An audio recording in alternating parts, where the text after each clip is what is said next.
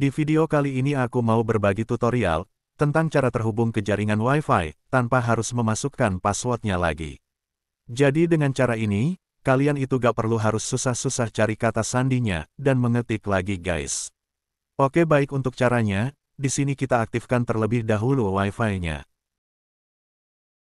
Lalu kita tekan dan tahan di bagian Wi-Fi-nya.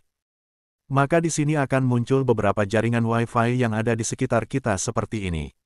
Dan bisa kalian lihat, di sini saya belum terhubung ke jaringan Wi-Fi mana pun. Oke sekarang kita coba klik salah satu jaringan Wi-Fi-nya. Nah maka otomatis kita akan diminta untuk memasukkan password Wi-Fi-nya.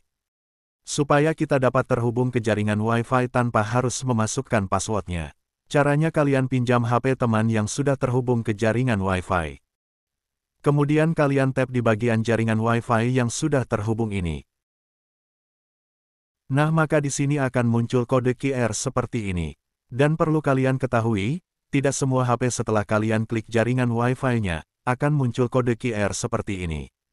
Jadi kode QR ini akan muncul jika teman kalian menggunakan HP Xiaomi, Vivo atau HP dengan tipe yang terbaru guys.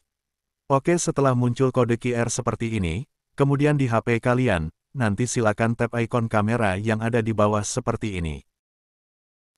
Setelah itu kalian tinggal arahkan kameranya, untuk men-scan kode QR-nya. Maka secara otomatis HP kalian akan langsung terhubung ke jaringan Wi-Fi, tanpa harus memasukkan passwordnya lagi. Oke baik itulah tadi cara terhubung ke jaringan Wi-Fi, tanpa harus memasukkan password lagi.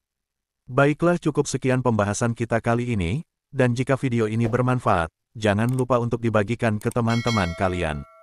Mari kita berbagi ilmu pengetahuan di media sosial. Terima kasih.